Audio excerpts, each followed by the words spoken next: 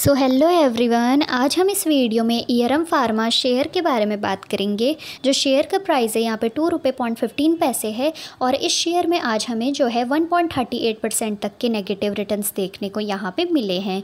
आगे हम इस शेयर के प्रीवियस रिटर्न की बात करते हैं। तो यहाँ पर वन मंथ में जो शेयर है, उसने हमें three point eighty six percent तक के रिटर्न दिए हैं। साथ ही अगर हम मैक्स में ऑल टाइम की यहाँ पर बात करते हैं तो ऑल टाइम में जो शेयर है, उसमें हमें यहाँ पर twenty five point six 61 percent तक के नेगेटिव रिटर्न्स यहाँ पे देखने को मिले हैं।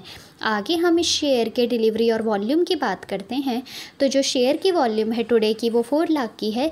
येस्टरडे की टू लाख की वन वीक एवरेज की टू लाख की और वन मंथ एवरेज की फोर लाख की। यानी कि इस शेयर में जो है टू लाख से लेकर फोर लाख तक शेयर ट्रेड हुए हैं।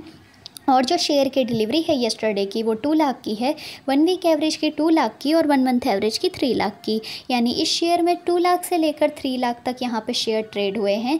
और यहाँ पे इस शेयर के रेजिस्टेंस और सपोर्ट लेवल की बात करते हैं तो यहाँ पे जो शेयर है, उसका जो करंट प्राइस है, वो टू रुपये पॉइंट फिफ्टीन पैसे है।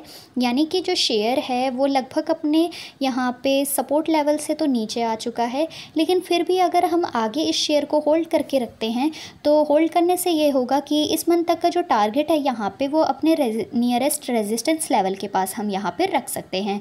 तो अगर आपके पास ये शेयर है और आप इस शेयर को यहाँ पे लॉन्ग टर्म के प्रस्पेक्टिव से अपने ओन रिस्क में होल्ड करके रखना चाहते हैं तो आप इस शेयर को यहाँ पर लॉन्ग टर्म के लिए होल्ड कर सकते हैं, क्योंकि ये जो शेयर है शॉर्ट टर्म के लिए रिस्की रह सकता है।